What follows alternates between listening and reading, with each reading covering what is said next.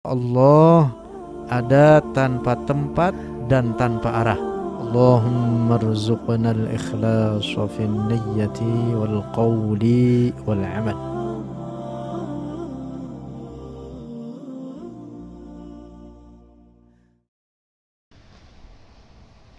الحمد لله رب العالمين والصلاة والسلام على سيدنا محمد سيد الأولين والآخرين وعلى آله وصحبه الطيبين الطاهرين اللهم لا سهل إلا ما جعلته سهلا وأنت تجعل الحزن يا حي يا قيوم إذا شئت سهلا. اللهم اللهم الإخلاص في النية والقول والعمل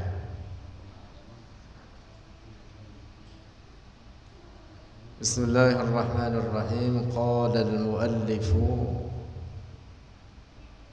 شيخنا ومولانا وإمامنا الشيخ السلطان أبو عبد الرحمن عبد الله بن محمد Ibn Yusuf Al-Harari rahimahullah taala. Bismillahirrahmanirrahim. Dengan nama Allah. Artinya aku memulai dengan nama Allah. Ar-Rahmanir Rahim Allah adalah nama bagi zat yang wajibul wujud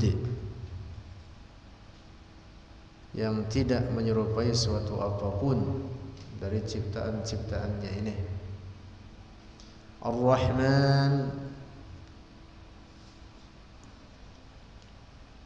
Yang maha luas rahmatnya bagi orang-orang mukmin dan orang-orang kafir di dunia dan khusus bagi orang-orang mukmin di akhirat. Itu makna Ar-Rahman. Jadi rahmat Allah di dunia ini mencakup siapa pun tidak tertentu bagi orang mukmin saja tetapi juga bagi orang kafir. Khusus di dunia. Adapun di akhirat rahmat Allah hanya tertentu bagi orang-orang mukmin saja.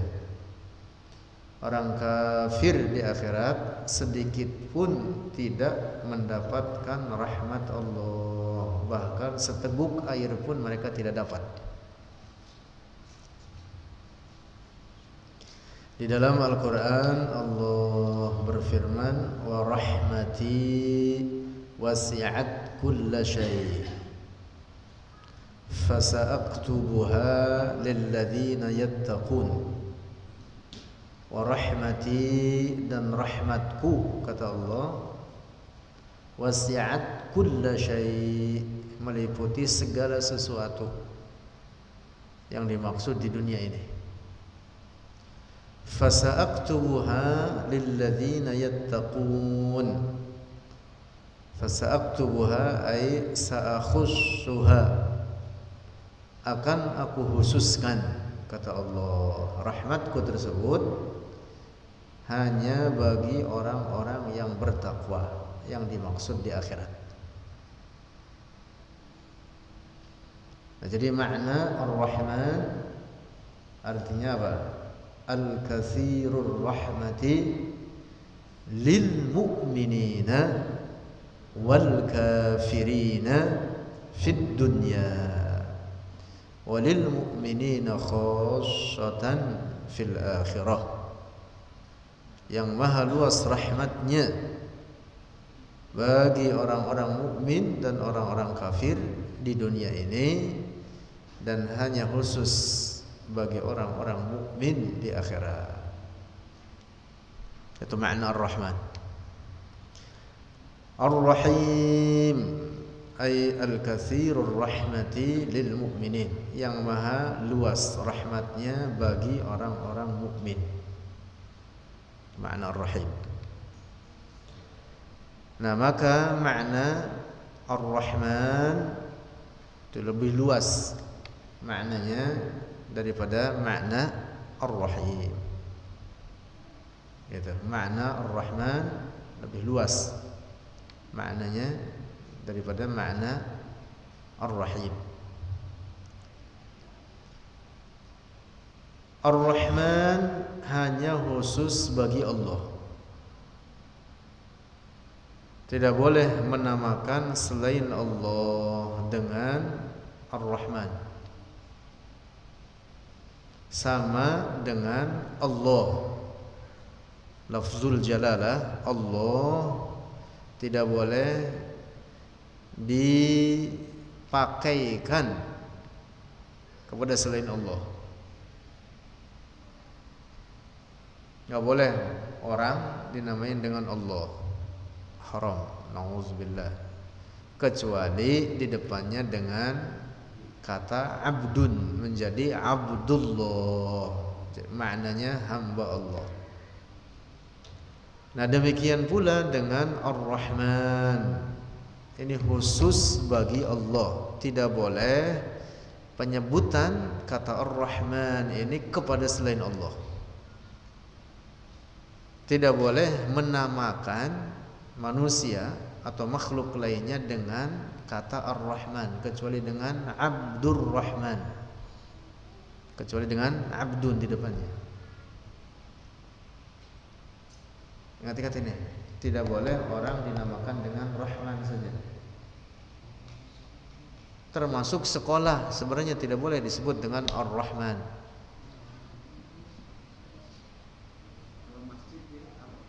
Masjid juga. Masjid juga jangan. Tertentu Ar-Rahman ini hanya bagi Allah, sama persis dengan Allah. Jadi ada nama-nama Allah yang khusus tertentu hanya bagi Allah saja. Tidak boleh dinisbatkan kepada selain Allah. Salah satunya ini Ar-Rahman. Selain Allah lalu Ar-Rahman. Termasuk Al-Quddus termasuk Al-Khaliq termasuk Ar-Razzaq atau Ar-Raziq tidak boleh orang namanya Razak saja tidak boleh, haram. Tetapi dengan Abdun di depannya Abdur Razak, Abdur Rahman, Abdul Quddus. Dan kalau sudah namanya cakap Abdur Rahman, jangan dipanggil Rahman saja, nggak boleh. Sama persis seperti Abdullah tidak boleh dipanggil dengan Allah saja. Tapi abdun ya. abdun saja. Atau lebih bagus lengkap Abdullah. Tidak boleh pula disingkat malah dulah. Dulah ke mana dulah duloh nggak boleh. Abdullah atau Abdun? Nggak boleh. Muhammad Razak nggak boleh, tapi Abdur Razak. Termasuk Malikul Mulki. Ini hanya khusus bagi Allah. Termasuk Muhyil Mauta yang menghidupkan segala yang mati. Ini hanya khusus bagi Allah. Termasuk Ghafiruz Zambi kalimat ini yang maha mengampuni segala dosa atau ghafiruz dzunub tidak boleh disandarkan kepada selain Allah enggak enggak enggak enggak semuanya Ar-Rahim boleh menamakan orang dengan Rahim saja tanpa ada abdun di depannya tidak mengapa. Tapi kalau Rahman tidak boleh. Wajib dengan Abdur Rahman. Kalau Rahim boleh. Tapi lebih bagus Abdur Rahim. Tapi kalau Rahim saja boleh. Atau Rauf boleh. Misalkan di dalam Al-Qur'an Rasulullah sallallahu alaihi wasallam disifati oleh Allah bil mu'minina raufur rahim. Rasulullah itu bagi orang-orang mukmin seorang yang rauf dan seorang yang rahim.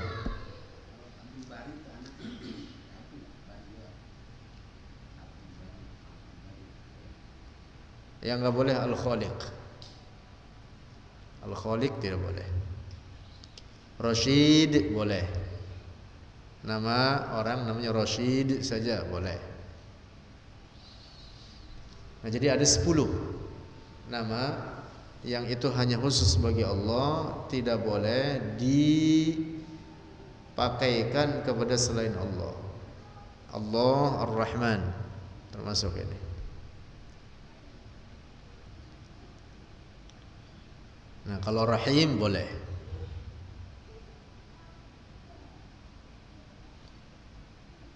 Nama yang bagus dalam hadis diriwayatkan uh, khairul asma'i Abdurrahman wa Abdullah.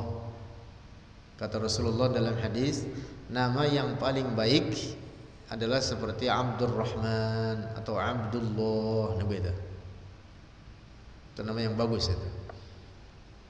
Nah jadi penyebutan di depannya itu jangan tertinggal. Lafaz abdun.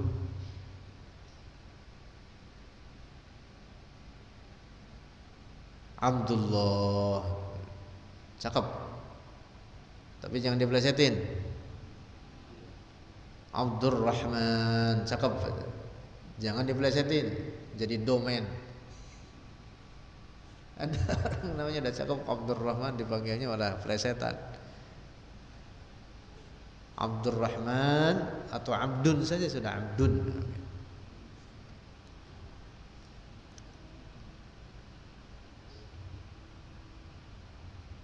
Terus As-siratul mustaqim.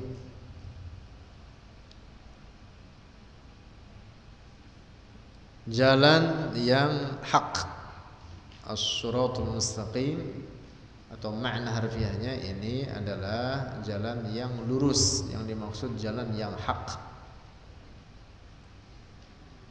Jalan yang ditempuh oleh umat Islam. Ajaran Rasulullah sallallahu alaihi wasallam. Alhamdulillah segala puji bagi Allah. Biasanya kita terjemahin alhamdulillah itu artinya segala puji.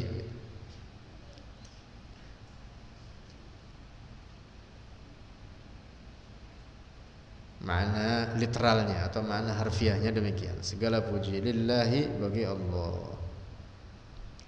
Wassalatu wassalamu ala Rasulillah. Salawat dan salam atas Rasulillah. Nabi kita Muhammad sallallahu alaihi wasallam. Makna salawat dan salam As-salatu ala Rasulullah yang dimaksud adalah kita memohon kepada Allah agar menambahkan kemuliaan dan keagungan atas Nabi Muhammad. Itu mana salat ala Nabi. Kita membaca salat atau salawat atas Nabi kita Muhammad sallallahu alaihi wasallam maknanya apa? Memohon kepada Allah agar menambahkan kemuliaan dan keagungan atas Nabi Muhammad sallallahu alaihi wasallam. Itu maknanya.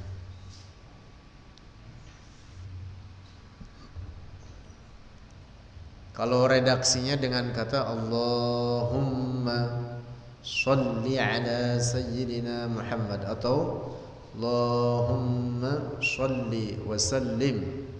Di depan atau di belakangnya salimnya boleh. Allahumma sholli ala sayyidina Muhammad wa ala alihi wa sahbihi wa sallim. Allahumma maknanya ya Allah Salli artinya zid Muhammadan syarafan wa ta'ziman. Tambahkan atas Muhammad kemuliaan dan keagungan. Nah itu makna salawat. Makna salim artinya salim ummat Muhammadin mimma yakhafuhu Muhammadun selamatkanlah umat Muhammad ini umat Rasulullah dari segala apa yang dikhawatirkan oleh Rasulullah. Nah, itu pengertian salam. Jadi kan bacanya Misalkan redaksinya as-salatu wassalam. Kalau as-salatu itu artinya isinya apa? Memohon kepada Allah supaya menambahkan kemuliaan dan keagungan atas Rasulullah. Adapun salam atas Rasulullah maksudnya berdoa bagi umat Rasulullah ini dari segala apa yang dikhawatirkan untuk dihindarkan dari segala apa yang dikhawatirkan oleh Rasulullah.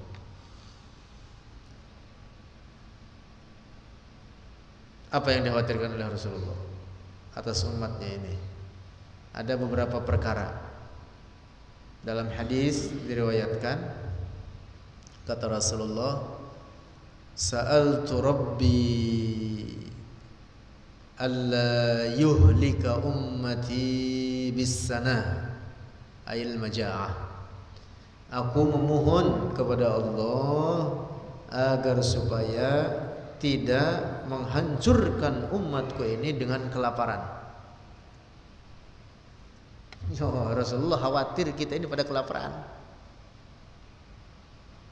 Orang yang banyak baca salawat kagak bakal kelaparan.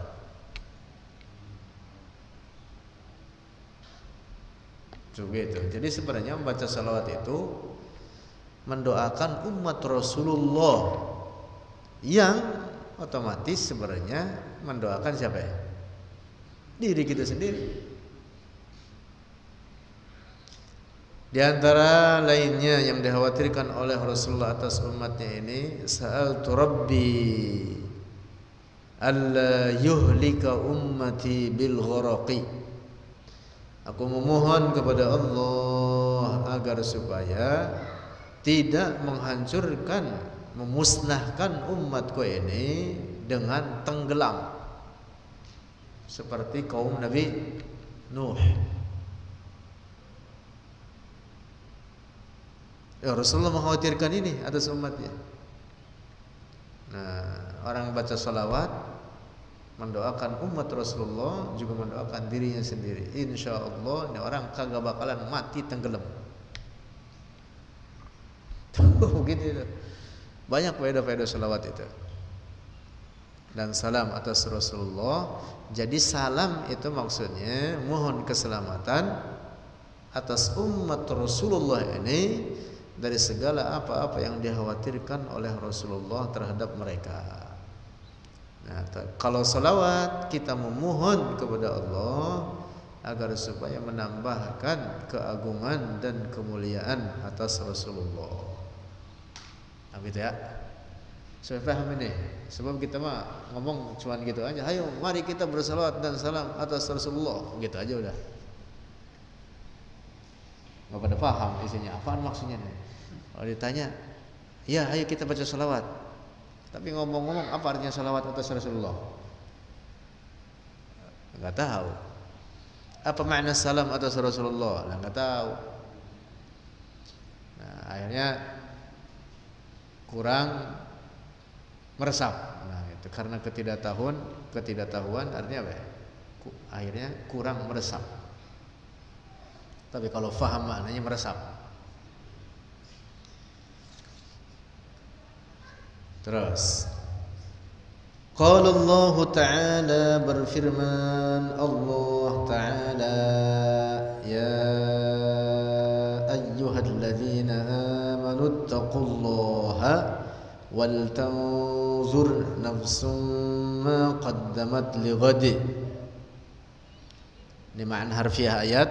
Ya ayyuhalladzina amanu taqullaha Wahai sekalian orang-orang yang beriman bertakwalah kalian kepada Allah.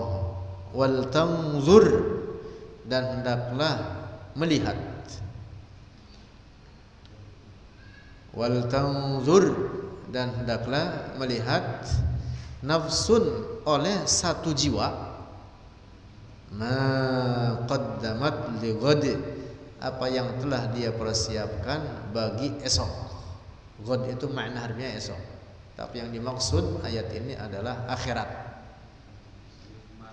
Apa yang dipersiapkan untuk akhirat. Apa yang sudah kita kerjakan sebagai bekal untuk akhirat. Itu yang dimaksud dengan ayat ini. Nah, di dalam ayat ini Allah Subhanahu wa taala memerintah orang-orang mukmin untuk bertakwa kepada Allah. Dan sebaik-baiknya bekal adalah takwa. Firman Allah apa dalam ayat lain? Wa tazawwadu fa inna khairaz taqwa. Berbekallah kalian atau buatlah bekal oleh kalian dan sebaik-baik bekal adalah takwa. Nah, takwa itu adalah ada wajibat wajtinabul muharramat. Mengerjakan kewajiban-kewajiban dan menghindari segala perkara-perkara yang diharamkan. Jadi rukun takwa itu hanya dua ini. Dan kita di dalam syariat ini secara garis besar diperintah dalam dua perkara ini. Mengerjakan kewajiban, meninggalkan yang diharamkan. Udah ini aja. Enggak ada yang lain. Yang yang diperintah dalam syariat mengerjakan pekerjaan sunnah itu istilah sebagian ulama untuk mencari kelebihan gitu. Nyari untung. Nah gitu. Yang pokok itu dua. Mengerjakan kewajiban meninggalkan barang yang haram. Udah ini aja sebenarnya.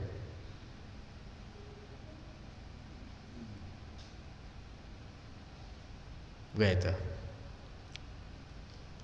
dalam hadis diriwayatkan ada seorang sahabat menghadap Rasulullah.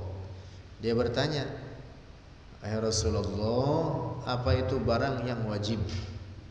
Lalu oleh Rasulullah disebutkan barang-barang yang wajib ini ini ini ini ini. Lalu ini sahabat bertanya lagi, "Wahai Rasulullah, apa itu barang yang diharamkan?" Lalu oleh Rasulullah disebutkan beberapa perkara yang diharamkan ini ini ini ini ini. Lalu sahabat ini berkata kepada Rasulullah, "Wahai Rasulullah, saya hanya akan mengerjakan apa yang engkau sebutkan itu tadi, yang wajib saya kerjakan, yang haram saya tinggalkan. Kagak nambahin, kagak ngurangin, saya ngerjain itu aja." Lalu kemudian sahabat ini pergi sampai hilang begitu hilang pergi Rasulullah kemudian berkata kepada sahabat lain yang ada di situ kata Rasulullah laqad aflahar rajulu in sadaqa. Benar-benar telah beruntung itu orang jika dia benar dengan ucapannya megang teguh apa yang dia janjikannya. Mengerjakan kewajiban tinggalkan barang yang haram. Emang itu doang dua dalam syariat itu. Nah, adapun pekerjaan yang sunnah boleh dikerjakan, boleh tidak. Tentu kalau dikerjakan menjadi kebaikan. Tapi kalaupun ditinggalkan tidak berdosa. Paham? Udah itu aja. Nah, hanya saja yang perlu kita perhatikan terutama menyangkut barang yang haram. Kewajiban rapi kita kerjakan, barang yang haram betul-betul kita hindari. Nah, dasar daripada itu semua dan ini merupakan kewajiban yang pokok dari beberapa kewajiban itu tadi adalah belajar ilmu agama yang pokok. Disebut dengan ilmu din ad-daruri. Itu menyangkut pokok-pokok akidah menyangkut pokok-pokok ibadah keseharian kita menyangkut kewajiban-kewajiban ain kewajiban-kewajiban apa fardu ain wudhu yang benar, sholat yang benar bagaimana. Nah ini dia nih. Dari mulai kita bangun tidur sampai tidur lagi apa eh, pokok-pokok kewajiban dalam syariat ini. Wajib kita pelajari. Nah, ilmu itu adalah pangkalnya. Nah makanya Para ulama kita mengatakan Al-Imam Al-Bukhari dan lainnya Al-ilmu qabla al-amal. Ilmu itu harus didahulukan sebelum apa? Beramal. Dalam eh, dalam Sahih Al-Bukhari Imam Al-Bukhari menulis bab isinya hadis-hadis Nabi. Babnya beliau namakan dengan babu wujubil ilmi qabla al-qawli wal amali. Bab kewajiban berilmu qabla al-qawli wal amal sebelum berkata-kata dan sebelum perbuatan-perbuatan apa pun. Nah, di zaman sekarang ini di zaman sekarang banyak orang yang melalaikan mempelajari ilmu agama yang pokok. Di zaman kita ini berkembang atau menyebar perkumpulan tarekat tapi kebanyakan di zaman kita ini bukan dari zaman dahulu tapi di zaman kita terutama di zaman akhir ini berkembang perkumpulan tarekat tapi mereka tidak faham ilmu agama. Nah, orang yang semacam ini keadaannya, maka zikirnya dia.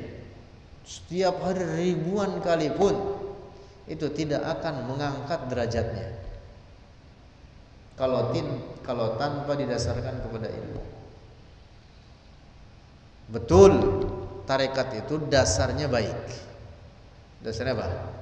Baik. Tetapi itu akan bermanfaat bagi orang yang berilmu. Makanya jangan ikut-ikutan zikir doang tapi tidak faham ilmu agama.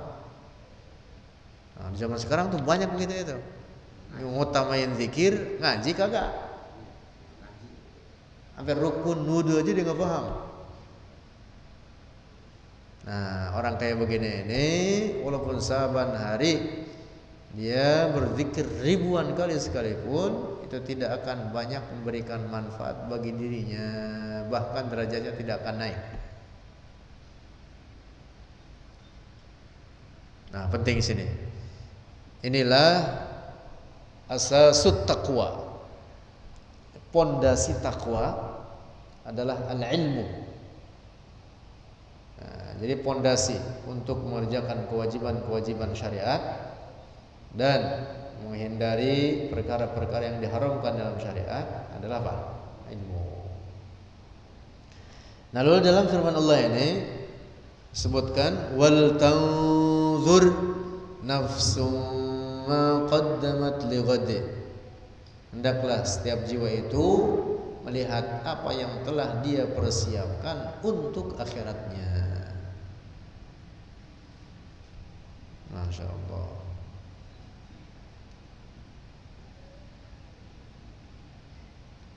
Nah, jadi di dalam ayat ini terdapat dalil perintah bagi kita untuk melakukan muhasabah. Apa muhasabah? Eh?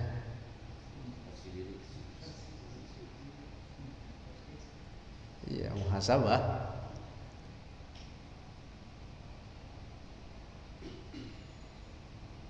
Masya Allah. Terus Wa qala Ali radhiyallahu anhu dan berkata Ali radhiyallahu anhu wa karrama wajhahu. Al-yawm al-amalu wa ghadan al-hisabu. Al-yawma hari ini Al-amalu adalah beramal. Bekerja atau berbuat. Wa ghadan dan esok yang dimaksud di akhirat al-hisabu adalah hisab.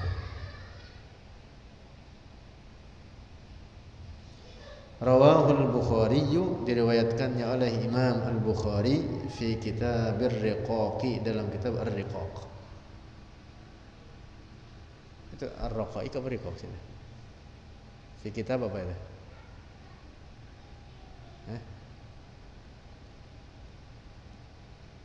Fatih bacanya apa itu? Fi kitabi Ar-Raqaiq apa Riqaq? Ar-Riqaq.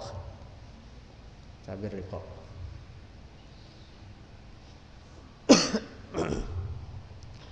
Nah, perkataan Sayyidina Ali ini Nah, pertama ini ungkapan kata karramallahu wajhah itu sebenarnya perkara bid'ah. Perkara apa? Bid'ah. Perkara baharu yang itu tidak pernah diungkapkan di zaman Rasulullah. Itu ada sekitar 100 tahun atau lebih dari setelah wafatnya Sayyidina Ali bin Abi Thalib. Makna karramallahu wajha artinya doa memohon supaya Allah mencurahkan keriduannya bagi Sayyidina Ali. Penyebutan kata karramallahu wajah itu tidak hanya tertentu bagi Sayyidina Ali saja. Juga berlaku bagi para sahabat lainnya. Abu Bakar As-Siddiq karramallahu wajhah radhiyallahu anhu wa karrama wajhah Umar karramallahu wajhah maknanya sama dengan radhiyallahu anhu ya itu bukan seperti ini makna karramallahu wajhah bukan seperti pendapat sebagian orang yang mengatakan bahwa ini tertentu bagi Sayyidina Ali saja dengan alasan kata mereka ini karena Sayyidina Ali tidak pernah kafir kepada Allah. Nah, jadi bukan itu alasannya. Ada beberapa sahabat lainnya selain Sayyidina Ali yang tidak pernah kafir kepada Allah bahkan banyak. Putranya beliau, dua putranya beliau, Sayyidina Ali yaitu Al-Imam Al-Hasan Al-Husain. Lalu ada sahabat senior apalagi sahabat-sahabat yang lahir di zaman Rasulullah atau yang masih kanak-kanak di zaman Rasulullah kebanyakan mereka apa adalah orang-orang yang tidak pernah kafir sebelumnya kepada Allah memang mukmin dari kecil bahkan ada pula sahabat senior seperti sahabat Az-Zubair Abdullah bin Zubair dan beberapa sahabat lainnya ada banyak para sahabat yang seumur-umur tidak pernah menyembah berhala, tidak pernah kafir kepada Allah. Nah, jadi penyebutan karramallahu wajah itu tidak tertentu bagi Sayyidina Ali saja, tapi juga berlaku bagi para sahabat lain. Maknanya sama dengan radhiyallahu anhu, adalah doa. Mohon kepada Allah supaya mencurahkan rahmat dan keridhaannya bagi mereka. Nah, kemudian perkataan Sayyidina Ali bin Abi Thalib, "Al-yawma al-'amalu wa ghadan al-hisabu. Ini potongan perkataan beliau. Asalnya perkataan beliau ini panjang. Dikutip dalam kitab ini dari kitab uh, Sahih Al-Bukhari dalam kitab Ar-Riqaq tapi potongannya saja.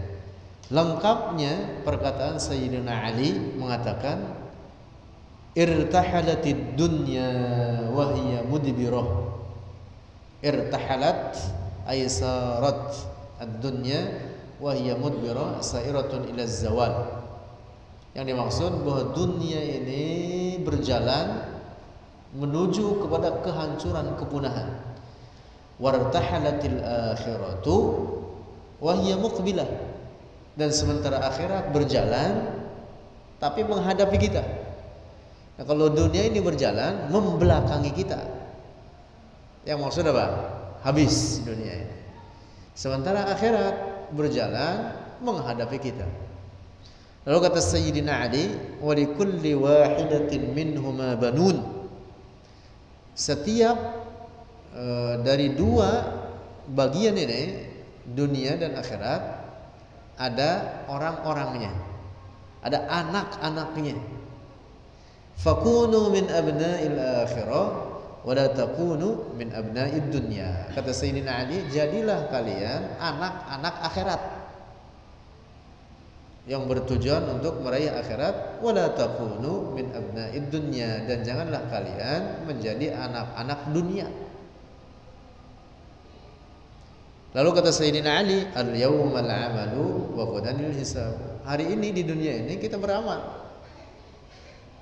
Jadi jangan dijadikan dunia ini tujuan utama.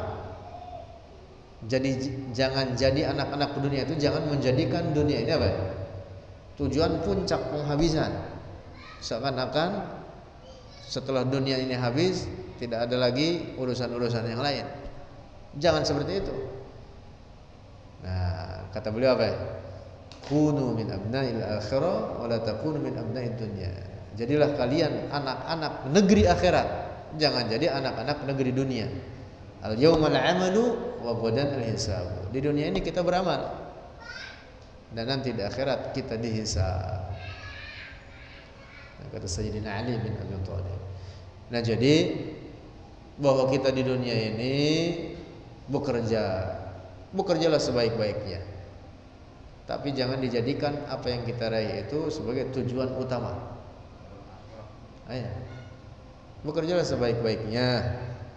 Ada yang kerja kul kullu ya'malu ala syakilati jadi setiap orang kerja masing-masing ada yang tukang ini tukang ini tukang ini tukang ini tukang ini macam-macam. Nah tetapi jangan dijadikan itu adalah tujuan akhir. Karena itu apa? Itu adalah tujuan untuk kita beramal. Tujuan untuk kita beramal untuk tujuan akhirat kita.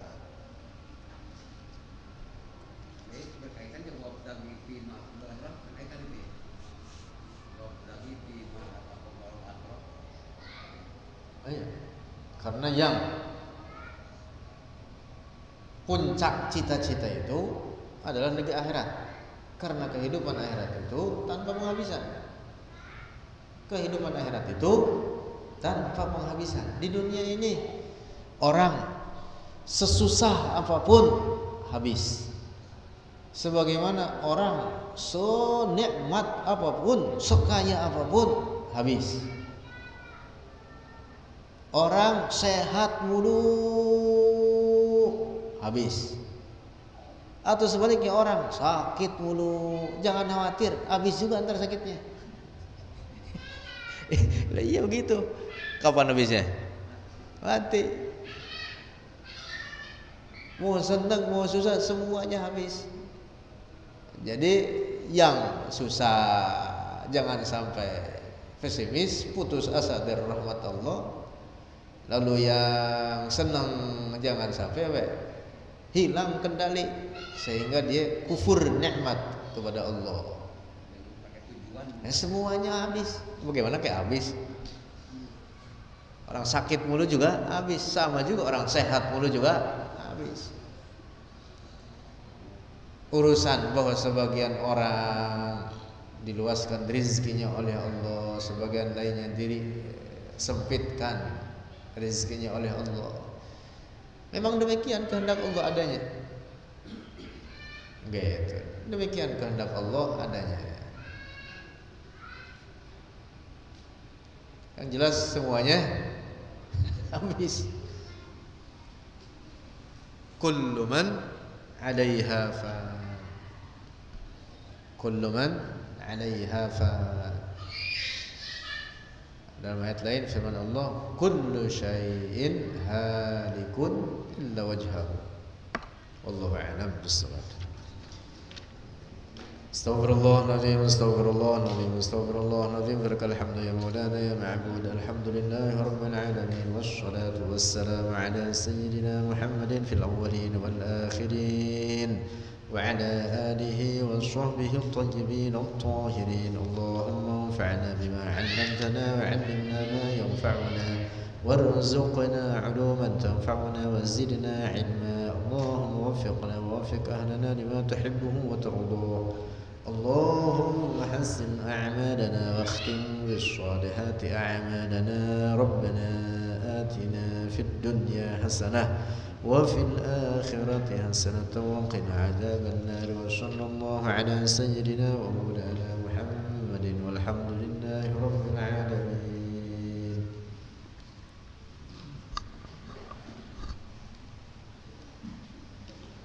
الله ada tanpa tempat dan tanpa arah. Allahumma rzuqna al-ikhlas fi niyyati wal qawli wal amal.